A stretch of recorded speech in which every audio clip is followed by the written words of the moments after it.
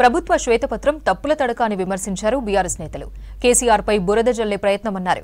మేడిగడ్డలో అవినీతి జరిగితే చర్యలు తీసుకోండని అన్నారు. సీబీఐ విచారణ జరిగితేనే దోషులెవరో తేలుతారని బీజేపీ నేతలు తెలిపారు. జరిగిన నష్టాన్ని ఎలా సరిచేస్తారో చెప్పాలని కోరారు సీపీఐ ఎమ్మెల్యే కూనంనేని ఇరిగేషన్ పై ప్రభుత్వం విడుదల చేసిన వైట్ పేపర్ తప్పుల తడకగా ఉందన్నారు మాజీ మంత్రి హరీష్ రావు. బీఆర్ఎస్ పై బురద జల్లే ప్రయత్నమన్నారు. బిడ్మానేరుకు తమ ప్రభుత్వం వచ్చాక ఏడు వందల డెబ్బై ఐదు కోట్లు ఖర్చు చేసిందన్నారు. నాకేమో ఈ బుక్ ఇప్పుడే ఇచ్చారు. ఒకవైపు ప్రజెంటేషన్ చూడాలి ఇంకొక వైపు బుక్ చూడాలంటే కొంచెం టైం సరిపోదు.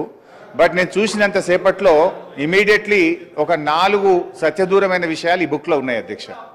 నాలుగు సత్యదూరమైన విషయాలున్నాయి అంటే ఈ బుక్ అంతా కూడా తప్పుల తడకగా గత ప్రభుత్వం మీద బురద జల్లాలనేటువంటి ఉద్దేశంతో ఒక ఇంటెన్షనల్గా ఈ బుక్ను ఈ సభలో ప్రవేశపెట్టారు. ఐ విల్ ప్రూవ్ సార్ ఒక ఇంకా చాలా ఉన్నాయి కానీ ఒక నాలుగు ఇమీడియట్గా ప్రూవ్ చేస్తాను మేడిగడ్డ ఒక్కటే కాళేశ్వరం కాదన్నారు ఎమ్మెల్యే పల్లా రాజేశ్వర్ రెడ్డి.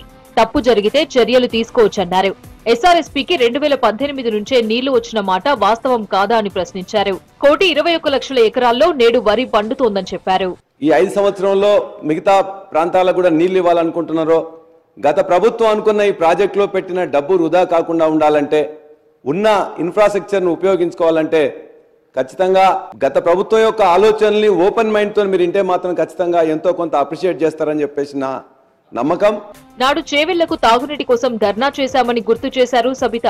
పాలమూరు ప్రాజెక్టు పూర్తయితే ఉమ్మడి రంగారెడ్డి మహబూబ్ నగర్ జిల్లాలకు సాగు తాగునీరు అందుతాయని ప్రభుత్వం మిగిలిన పనులు చేపట్టాలన్నారు.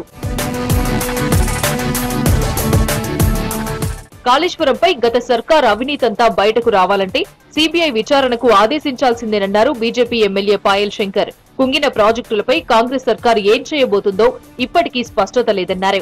దీనిపై వివరణ ఇచ్చిన irrigation minister Uttam national dam safety authority ఏ రిపోర్ట్ అడిగినా ఇస్తామన్నారు. భారతీయ జనతా పార్టీకి టిఆర్ఎస్కు ఏదో సంబంధం ఉన్నట్టున్నది.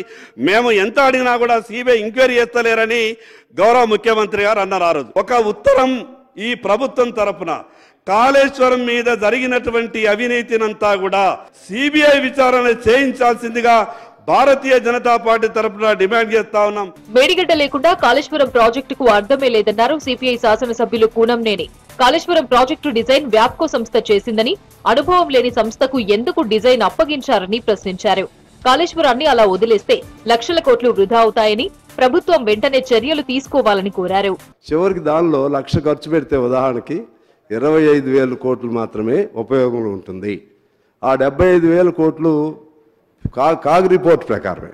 అది ఎలా ఎటుపోతుంది అనేది మనం ఆలోచన చేసుకోవాల్సినటువంటి అవసరం ఉంది అధ్యక్ష. అప్పుడు అది కూలిపోయింది ఇది కూలిపోయింది కాబట్టి ఇది కూలిపోతే తప్పేమిటి అన్నట్లుగా ఆ భావన వస్తుంది. అంటే నాకు ఇవాళ మరి సరైన పద్ధతుల్లో వాస్తవంగా వాస్తవం జరిగింది. మీరు విచారణ చేసుకోండి. తప్పేంటో ఉప్పేంటో చూడండి. భవిష్యత్తులో ఎలా పోవాలో చూడండి. ఇటువంటి కన్స్ట్రక్టివ్గా మాట్లాడాలి. ఆల్మట్టి ఎత్తు పెంపు పాపం చంద్రబాబు నాయుడుదేనని విమర్శించారు ఎంఐఎం ఎమ్మెల్యే అక్బరుద్దీన్. వైఎస్ జలయజ్ఞాన్ని ధనయజ్ఞంగా మార్చారని మండిపడ్డారు. ఉమ్మడి ఏపీలో కృష్ణా గోదావరిపై డెబ్బై ఐదు ప్రాజెక్టులకు ప్లాన్ చేశారని అందులో తెలంగాణలోనే పంతొమ్మిది ప్రాజెక్టులు ఉన్నాయన్నారు. కాళేశ్వరం అంశంపై అఖిలపక్ష సమావేశానికి తాము సిద్ధమని ప్రకటించారు ఉత్తమ్. ప్రాజెక్టుల ఖర్చు ప్రయోజనంపై చర్చ జరగాలని డిమాండ్ చేశారు.